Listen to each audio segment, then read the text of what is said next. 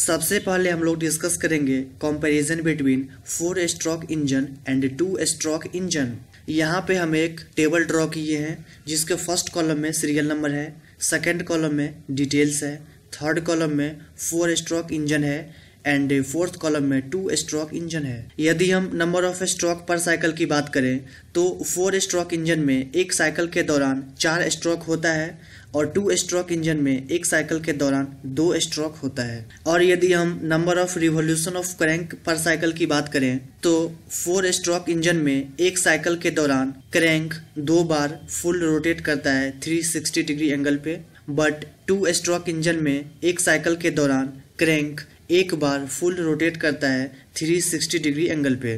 Four stroke engine में number of cycle per minute N is equal to होता है N by two और two stroke engine में number of cycle per minute N is equal to होता है N जहाँ पे small N is equal to होता है number of cycle per minute और capital N is equal to होता है इंजन स्पीड यदि हम पावर ड्राइव की बात करें तो फोर स्ट्रोक इंजन में alternate revolution of crank shaft से हमें पावर मिलता है। मींस यदि हमें first revolution of crank shaft से पावर मिल गया तो सेकेंड से न मिलके अब थर्ड से पावर मिलेगा। और टू स्ट्रोक इंजन में हर रिवोल्यूशन ऑफ़ क्रैंक साफ्ट से हमें पावर मिलता है। फोर स्ट्रोक इंजन में फ्यूल कंजप्शंस काफ़ी कम होता है, बट टू स्ट्रोक इंजन में फ्यूल कंजप्शंस काफ़ी ज़्यादा होता है। फोर स्ट्रोक इंजन का मैकेनिकल एफिशिएंसी कम होता है, बट टू स्ट्रोक इंजन का मैकेनिकल एफिशिएंसी काफ़ी ज़्यादा होता है।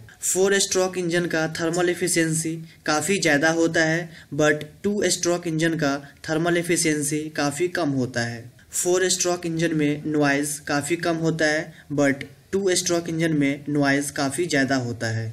यदि हम फ्यूल एडिशन की बात करें तो फोर स्ट्रोक इंजन में फ्यूल डायरेक्टली ऐड होता है during suction stroke. But two stroke engine में फ्यूल सबसे पहले क्रैंक केस में ऐड होता है, फिर उसके बाद ये सिलेंडर में ट्रांसफ़र होता है। फोर स्ट्रोक इंजन में टॉर्क ट्रांसमिटिंग कैपेसिटी काफ़ी ज़्यादा होता है बट टू स्ट्रोक इंजन में टॉर्क ट्रांसमिटिंग कैपेसिटी काफ़ी कम होता है। फोर स्ट्रोक इंजन में क्रैंक साफ्ट एक डायरेक्शन में रोटेट करता है बट टू स्ट्रोक इंजन में क्रैंक साफ्ट एक से ज़्यादा डायरेक्शन में रोटेट करता है। फोर स्ट्रोक इंजन का इनिशियल कॉस्ट ज़्यादा होता है बट टू स्ट्रोक इंजन का इनिशियल कॉस्ट कम होता है। फोर स्ट्रोक इंजन में वाल्व को ओपन और क्लोज करने के लिए कैम का यूज़ किया जाता है बट टू स्ट्रोक इंजन में पोर्ट को कवर और अनकवर करने के लिए पिस्टन का यूज़ किया जाता है। फोर स्ट्रोक इंजन में हैवी और लार्ज फ्लाईविल का यूज़ किया जाता है बट टू स्ट्रोक इंजन में स्मॉल और लाइटर फ्लाईविल का यूज़ किया जाता है। फोर स्ट्रोक इंजन को स्टार्ट करना थोड़ा सा डिफ़िकल्ट होता है बट टू स्ट्रोक इंजन को स्टार्ट करना काफ़ी इजी होता है। फोर स्ट्रोक इंजन में वियर एंड टीयर काफ़ी कम होता है बट टू स्ट्रोक इंजन में वियर एंड टीयर काफ़ी ज़्यादा होता है। फोर स्ट्रोक इंजन का साइज़ बड़ा होता है बट टू स्ट्रोक इंजन का साइज़ कॉम्पैक्ट और स्मॉल होता है। फोर स्ट्रोक इंजन का यूज़ किया जाता है बस में ट्रैक्टर में कार में बाइक में। और टू स्ट्रोक इंजन का यूज़ किया जाता है स्कूटर में और कुछ मोटरसाइकिल में।